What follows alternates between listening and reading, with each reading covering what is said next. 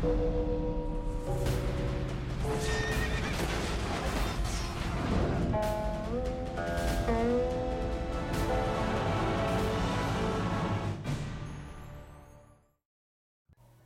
庄公被杀，齐景公继位。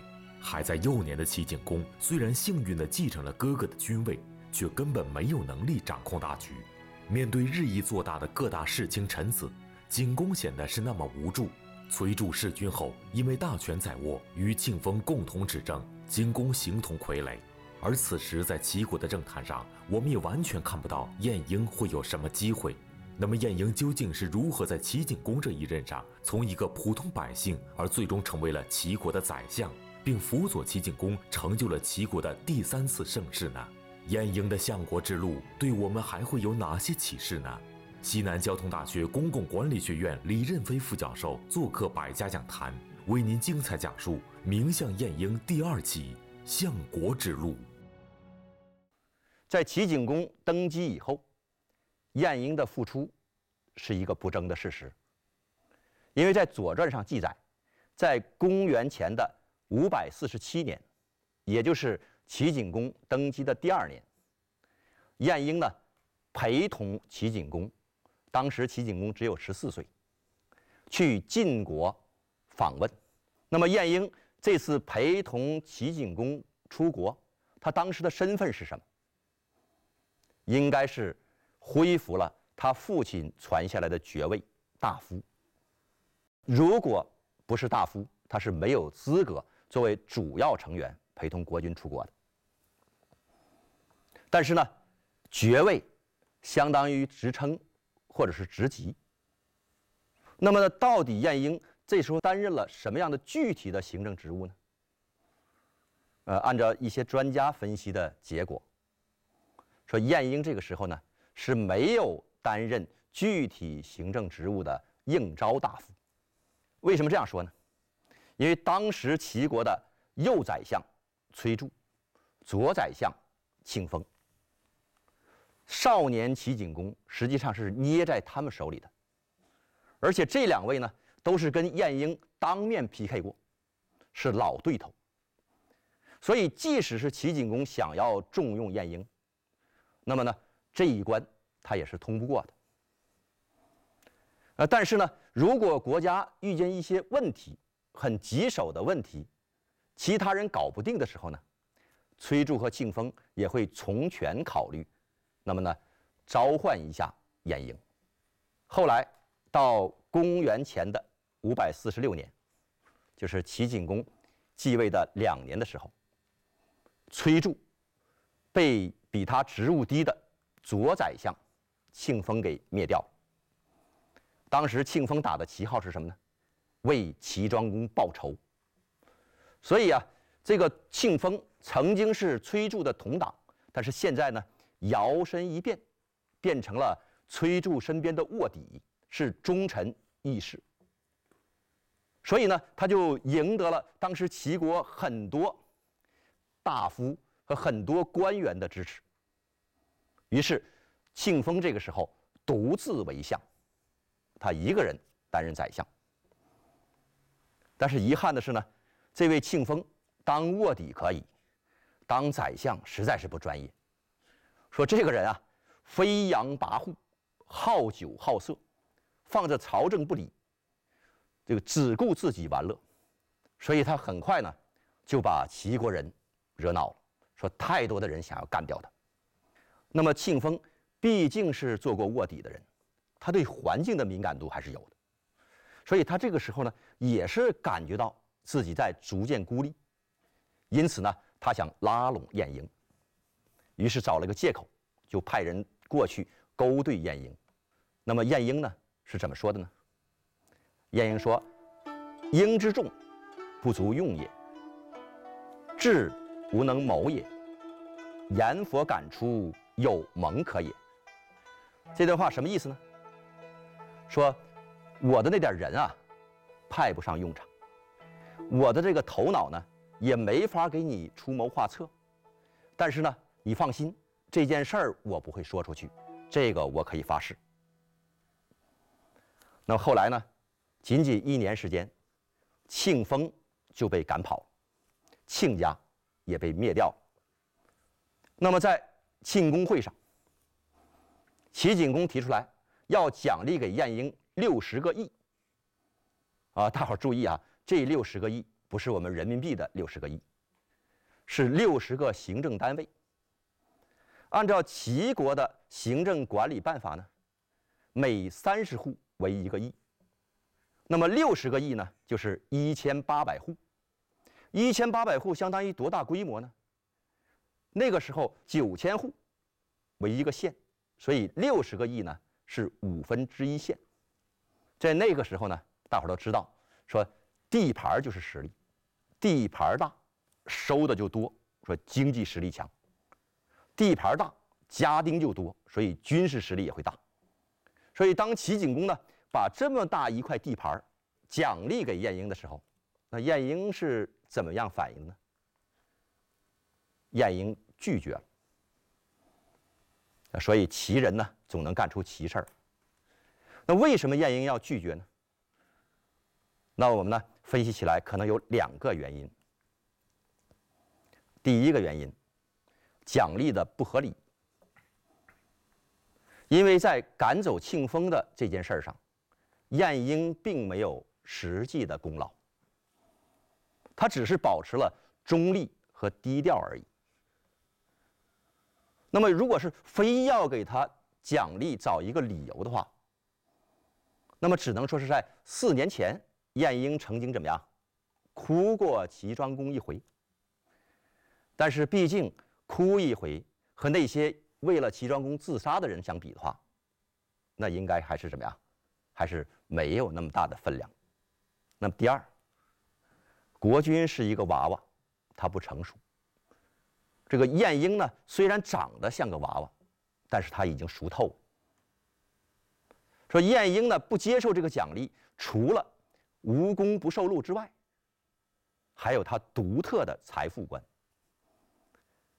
呃，当时呢，有一位大臣就问他，说：“富，人之所欲也，何独弗欲？”说富贵这件事情啊，人人都向往，为什么偏偏你不要呢？晏婴说了，他说：“庆丰的家产足够叫人心动，所以庆丰现在怎么样？被赶跑。我现在啊，本来我的家产呢。”别人不会眼红，但是如果加上这六十个亿呢，那就足够让人眼红了。所以呢，如果是我接受了，那就离我逃亡的日子不远了。我要如果是逃亡在外，那就一个亿也管不了。所以不是我不爱富贵，而是我怕失去富贵。晏婴的做法看来可谓是奇葩又另类。别人费尽心思想要得到的权利和财富，他却毫不犹豫的就都推辞掉了。而且晏婴的说法，我们也会有些奇怪，因为怕最后会失去，所以现在就干脆不接受。可是齐景公毕竟是国君，晏婴的做法可谓是完全不给国君面子。而且晏婴这一次的推辞，还有一个更加严重的后果，那就是这一次晏婴也和宰相的位置失之交臂了。那么现在我们要回到。问题的核心，就是这一次晏婴到底有没有当上宰相？答案是没有的。为什么呢？因为在晏婴推迟了齐景公的奖励的同时，另外一位大臣接受了，所以呢，他先给了齐景公面子。接受完以后呢，这位又把这个奖励的土地和财产还给了齐景公。又给了齐景公李子，说这个人处事儿就比晏婴圆滑多了。因此，公以为忠，故有宠。说齐景公认为这个人很忠诚，所以对他宠爱有加。那么这个人呢，任命为齐国的上卿。国君最宠爱的人是上卿，那么晏婴呢排到中卿，当然也是理所当然的，顺理成章。那么在《晏子春秋》当中，的确有未为中卿的记录。而说这句话的背景呢，是背景当中是晏婴的妻子已经头发斑白了，那可见呢，晏婴在年纪不小的时候仍然是在担任中卿。那么就在晏婴走上卿位，时间不久，这个时候呢，吴国的公子季札来齐国了。啊，季札呢是吴国国君的第四个儿子，这个人才华横溢，品德高尚，素有贤名。那我看到呢，有些人的说法呢，说他是孔子的老师，说当时有南季北孔之说，还说呢他是中国南方的第一大圣人。当然，这个问题我自己是没有考证过的。不过呢，从别人这个说法里头，我们至少知道一点，说这个人怎么样，在当时还是很有名气的。那么这个人呢，到了齐国以后，他很喜欢晏婴，因此就对晏婴说：“子素纳义与政，无义无政，乃免于难。”什么意思呢？他说：“你赶紧把你的土地还有权利交回去。”你没有土地，没有权利，这样才能够什么？避免灾祸。那么季札为什么这样说呢？在崔杼和庆丰倒台之后，齐国政治呢进入了一个平衡时期，各派势力基本上旗鼓相当，所以很难决出一位具有权威的人物来担任宰相。当时的各大门派呢，一共有七家。那么晏婴呢，是当中实力最小，但是名声最好的一家。我们中国的春秋后期社会矛盾呢，是逐渐由诸侯争霸，然后呢发展成大夫争权。所以季札就认为，像齐国采用的这种简单的平衡模式。并无法解决它深层的矛盾，说因此呢，这个里头会不断的摩擦、冲突、火拼，最后呢，以一方消灭另一方作为斗争的结果。而晏婴实力最小，你如果走入到这个漩涡里，很容易进入权力纷争，也更容易成为权力斗争的牺牲品。那这个时候怎么办呢？他的主意是。急流勇退。那么季札的这些话可信吗？他会不会是吴国想要削弱齐国的一场阴谋呢？他会不会是季札不了解情况之下的危言耸听呢？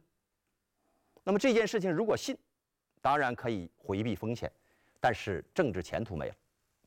但如果不信，万一被他言中，那你所有的抱负也都成了泡影。那么对于晏婴来讲，这个一米高的小个子，这个敢于坐地送功、敢于去演哭装大戏的这样一个具有非凡胆略的人，他会不会信呢？那我们作为他的后人，我们是更加希望晏婴能够勇往直前的去争取相位呢，还是希望他能够暂时避避风头？留得青山在，不怕没柴烧呢。我们看看晏婴是怎么选择的。晏婴的选择是信。为什么要信呢？我们分析有三点原因。第一个，季札的为人可靠，这是我们所有信任的基础。说季札的贤明，在当时的地球人全知道。第二个。季札所谈的问题，恰恰是晏婴他所关注的、所忧患。因为晏婴呢，就处在这个矛盾的当中。以晏婴的智慧，他会感受的非常深切。因此呢，这是两个相同层面的对话。所以呢，我们太多的人羡慕这个小个子的成就，却没有体会。这个小个子的内心的忧患。那么第三点，计扎的策略正中晏婴的下怀。说晏婴呢，虽然有非凡的胆略，但是所有的胆其实是建立在略的基础上的。当晏婴发现这件事情看不清、搞不定的时候，他会启动自我保护机制，那就是走为上策。所以晏婴呢，就找到齐景公，向他辞职退地。这晏婴也可以说是一朵奇葩呀！啊，国君奖励六十个亿，不要；不但如此，还要把已经划到自己名下的这个土地全部退回去。刚刚回到权力的高点，然后就要向国君辞职。所以齐景公当然不能同意了，因为晏婴的做法不合情理。但是我们知道，晏婴这个人怎么样？是个牛脾气。此路不通，绕路而行。于是呢，他就找到了同朝为卿的田氏的儿子，叫田无宇。这个人很重要，在以后的我们很多集当中都会出现他的名字。找到了田无宇，请他帮忙，最终把土地和植物全部都退掉。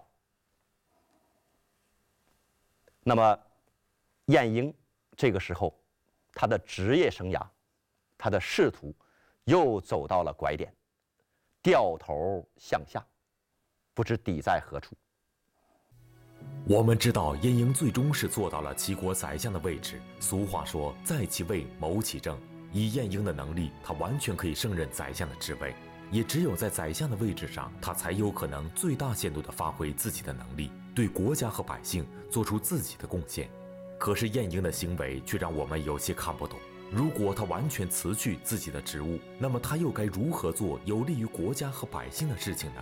辞职以后的晏婴又去做了些什么呢？晏婴的辞职呢，是在公元前五百四十四年。辞了职以后，那齐景公呢，还是想要用他。于是呢，说你在朝廷上工作不太习惯，那么总可以去地方。做点事情吧。因此，景公使晏子为东阿宰，就是把晏婴呢派到东阿，山东的东阿，去当一个县太爷、县令、父母官。那么这个呢，连朝廷大臣都要辞去的人，啊，居然接受。那么晏婴的这个选择，如果从我们今天。职场的观点是非常明智的。为什么这样说呢？晏婴出身大夫，家庭生活条件好，社会地位也很高，但是呢，他没有基层工作的经验，政绩也不足以服人。啊，尽管晏婴敢于坐地送功，啊，能够去上演哭庄大戏，但是这些。还不足以说明你可以担任国家的 CEO。因此呢，这需要晏婴去当一个地方的行政一把手，搞出一个样板工程，证明你可以当好这个家。那么晏婴有没有当好这个家呢？实际结果是，三年毁文于国，景公不悦。召而免之。晏婴当了三年的县官，当完了以后，骂声一片，都在说他坏话。那齐景公听了非常不高兴，把他叫回来，打算免去他的职务。说这件事就奇怪了，以晏婴的智慧，怎么可能连一个县都管不好？说晏婴知道，这个时候解释都是徒劳的，所以晏婴说。我知道问题出在哪儿了，请再给我三年时间，我一定再狱而归。齐景公看着这个小个子，这个得理不饶人的小个子，平常都是他批评人家，这回呢轮到别人批评他了，他成了落魄牛人，怪可怜的。所以，于是景公不忍，服使至阿。齐景公不忍心，啊，那你说你再去吧，再干三年。这三年结果干下来如何呢？这三年下来，晏婴来了一个咸鱼大翻身，誉满全国，啊，全国上下都在说晏婴的好话。齐景公啊非常高兴，决定重赏晏婴。但是晏婴再一次拒绝了。那么这一次晏婴的理由是什么呢？晏婴是这样说的：“他说，第一次我去东阿的时候，我加强社会治安，于是那些邪恶的人就讨厌我；我提倡勤俭孝悌，于是那些懒惰的人就讨厌我；我办案公正，于是在当地那些豪强他们就讨厌我。我的左右随从，他们想跟我这儿要一点好处，我呢是根据制度，该给的就给，不该给的不给，所以我的左右随从也讨厌我。还有一些达官贵人到我这里来，我都是按照标准进行接待，四菜一汤，没从没有超标，所以呢，达官贵人也讨厌我，于是呢，他们都说我的坏话，所以您就听到了。但是后边再一次去东阿的时候，这三年里头，我就放松了对这些人的管制。我不碍他们事儿了，于是这些人都在说我的好话，邪恶的人说我好话，懒惰的人说我好话，豪强们说我的好话，左右随从说我的好话，达官贵人说我的好话。所以呢，过去啊，你批评我的时候啊。其实恰恰应该怎么样表扬我，而现在呢，你想奖励我的时候，恰恰应该是惩罚我，所以我不敢接受。听了这段话，大伙儿可以想想齐景公的表情。原来事情的现象和本质之间会有这么大的差异，会如此的背道而驰。那么。事情如此具体，道理如此深刻，所以齐景公就感受到了晏婴的智慧。因此呢，他就用国君的方式表达了对晏婴的信服。于是，景公之晏子贤，乃任以国政三年，而其大幸。那这段故事呢，是记载在《晏子春秋》当中的，当中没有记载到底发生在哪年。但是如果把晏子的生平时间表摊开来看，它应该发生在公元前的五百四十四年到五百三十九年这六年之间，因为这中间呢有四个字叫“任以国政”，所以呢，有些人呢就认为晏婴。是从这个时候当上宰相，但是这个可能性有多大呢？晏婴呢接受了齐景公的任命，回到了朝廷，但是他的职务很可能仍然不是宰相。为什么这样说呢？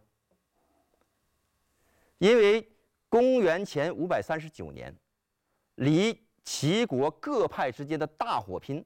还有八年之久，也就是说，当时的这个各大门派之间还处于温和摩擦阶段。那么，晏婴当年想要回避的那些矛盾，并没有因为他去东阿六年而发生根本性的改变。所以，各大门派之间呢，彼此的斗争仍然是。盘根错节、错综复杂的。那么，在各大门派互相牵制、互相角逐的这样一个局面下，如果直接把晏婴放到了宰相的位置上，那他立即就会成为各派的众矢之的。所以，晏婴是不会干这种傻事儿。那么，晏婴回来干什么呢？他应该是负责一项更为重要的政务而已。那当然。晏婴敢回来，晏婴敢回到朝廷，说明晏婴呢是有充分的底气的，因为他在外面工作了六年，这六年里头晏婴沉下来了。他对问题进行了深入的思考，应该说是找到了解决问题的方法。所以呢，在六年以前，晏婴是以逃避的方式去躲开风险，而六年以后呢，晏婴则是以参与的方式争取机会。所以从这一点的变化上来看，晏婴自己获得了超越。那么当然，我们经常说，说要一个人做事，要经得起诱惑，耐得住寂寞。那么齐景公不断的赏赐晏婴，那晏婴都拒绝了。首先他经得起诱惑，第二呢，那么回到朝廷，那么在这样一种局面之下，他还必须得要耐得住寂寞。那么晏婴又等待了多少年呢？八年。晏婴当上宰相之前，正是齐国政治最混乱的时期。对于晏婴的选择，我们心里真是有一个大问号。因为六年前，晏婴是以逃避的方式去躲开风险。现在虽然六年过去了，可是晏婴的实力却没有什么改变。他为什么会在这个最混乱的时候又选择了参与呢？这种参与是极具风险的，稍有不慎就可能成为火拼的牺牲品。那么对晏婴来说，等待他的会是怎样的血雨腥风呢？那么到公元前的五百三十二年，四四大家族的火拼开始了。我们知道，原来呢，齐国的政治势力主要有七家，晏婴呢是其中最弱的一家。那么在那六家当中呢，其中有一家已经在这个过程中沦落，那么还有一家呢？已经变成了逍遥派，与世无争了。因此呢，主要角逐的是四个家族。那么其中，子良、子奇，他们是一派。那么另一派呢，就是田家和鲍家。那么在这个不断变化的过程中呢，子良、子奇他们的势力在不断的扩大。超过了田家和鲍家，因此呢，子良和子齐就不可能像原来那样对鲍家那么尊重，所以彼此都在暗中较劲。终于有一天，说田家和鲍家同时接到了一个密报，说你家摊上事儿，子良和子齐他们准备来攻打你们。这个田家呀。他们几代以前呢，是从其他国家移民过来的，所以这家人呢，呃，基本上处事历来是比较谨慎低调。而这个鲍家呢，他是鲍叔牙的后代，那么这家处事呢，历来是比较厚道实惠的。说这两只老虎呢，在平常的情况下不会出来吃人的，但是现在别人即将攻上门来。那当然也不能坐以待毙，于是他们就召集自己的家丁，下发武器。其实啊，这是一场误会。这个时候，子良子期在干嘛呢？他们俩正在喝酒呢，正从豪言壮语向胡言乱语过渡。说他们万万没有想到，他们在酒桌上的这种语言攻击，在对方那里头已经演变了成了一场反击。行动，当然，所有的误会都是因为有潜在矛盾来支持。那么，于是田家的主人，这个时候就是田无语，他将错就错，拉上了鲍家，打响了一场自卫反击战。当然，这两边都是能人，都是能干的人，他们在大战之际。就是同时想到了一件事情，这件事情是什么呢？挟持国君。谁要把国君这握在手里头，那谁说起话来就硬气，就主动。说于是呢，子良和子齐他们率领自己的家丁，开始攻打齐景公寝宫的南门。后来呢，田家和鲍家也随后赶到。然后两方形成了对峙，那。么这个时候，晏婴怎么样选择？晏婴选择的是走中路，就是走支持齐景公四大家族两不相帮的中间路线。于是，晏平仲端尾立于虎门之外，就是晏婴呢，穿着礼服，非常庄严的站在南门之外。说实话，晏婴的这个举动太帅了。为什么呢？你看，你们都拿的是兵器，而我穿的是礼服，国家礼服。你你们谁敢对国家礼服不敬？你真的以为刀枪可以胜过礼义吗？所以四大家族，他们看见晏婴这个状态，都不想落一个叛国的罪名，所以因因此呢，两边都在召唤晏婴，希望晏婴过去，而晏婴。哪家都不去啊！这个时候，晏婴的家丁就问：“说我们是不是要帮田家和鲍家？”啊，晏婴说：“他们有什么好的值得我们帮助？”啊，家丁又问了：“那我们帮助子良子齐吧？”晏婴说：“他们比田家和鲍家强吗？”那，家丁又说了：“那咱们回去吧。”既然两不相帮，咱们回去吧。晏婴说了：“国军正在遭到攻击，我们不保护国军，回哪儿去啊？”后来，齐景公召唤晏婴，晏婴进去以后，安排好了齐景公的保卫事项，所以景公安全了。这个时候需要等待的是两大门派决出最后的结果。他们在齐都的郊外进行了一场决战。子良、子齐战败，逃到国外。那么这个时候呢，田家和鲍家就准备瓜分子良、子齐的家产。关键时刻又被晏婴拦住了，不可以。那当然，田无宇要问为什么？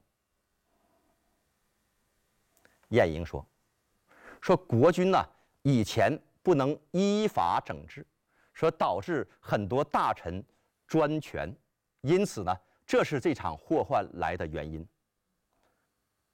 那么现在你们要想分他的家产，这是不符合法治的。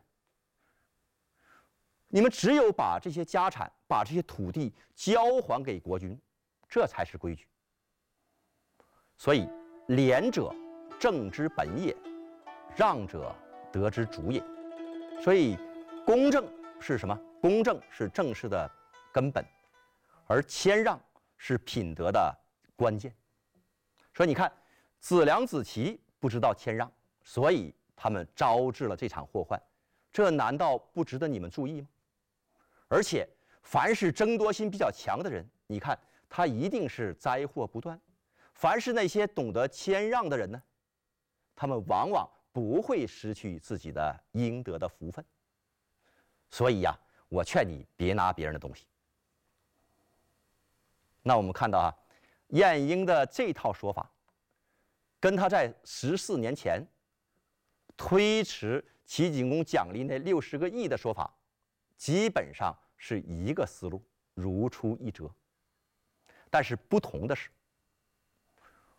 在田无宇看来，他真正的领会到了晏婴这套说法的实际效果。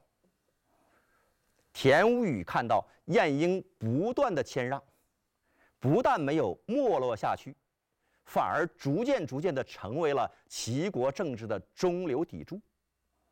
所以有舍才有得，说大师就在身边，看不见那叫有眼无珠。因此，田无宇同样去找齐景公，把所有的分的他那份的土地。和家产交还给齐景公，并且向齐景公提出要求，辞去重要职务。走的完全是当年晏婴的路子，但是鲍家该分的分，该拿的拿了，就没有想起来呢上交的这档子事儿。于是齐国政治现在发生了变化。齐景公因为回收了很多土地和财富，因此实力得到了大大加强，所以他的根基就变得比以前更牢固。那么除了齐景公之外呢，那么还有几家人，这几家人的状态是：第一个，有一家逍遥派，远离是非；第二个，有一家礼让谦退，就是田无宇。那么还有一家呢？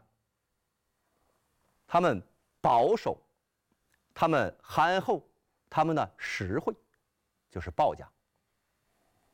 那么当然，同时还有一家人，这一家人深得民心，他维护国君，同时又为振兴齐国做了巨大的贡献。那这个就是晏家，晏婴。所以走到这儿的时候。晏婴已经没有了障碍，所以他顺理成章的当上了宰相。那么，如果按照这样一套思路推断呢？晏婴担任宰相，应该是公元前五百三十二年的事情。那么，小说《东周列国志》用演绎的方式支持了这种说法。那我们现在看来啊，晏婴一生从政的道路是几经波折、跌宕起伏的。在他担任宰相以后啊，还有一次长达七年的下野生活。那同样也是晏婴提出了要退休。七年以后被齐景公请出来继续担任宰相。说如此算来呢？晏婴这一辈子竟有三次辞职，有三次复出。那么，为什么晏婴总能在沉寂之后东山再起呢？那到底是什么样的一种力量，非要把晏婴推向前台呢？请关注下集，廉政监区。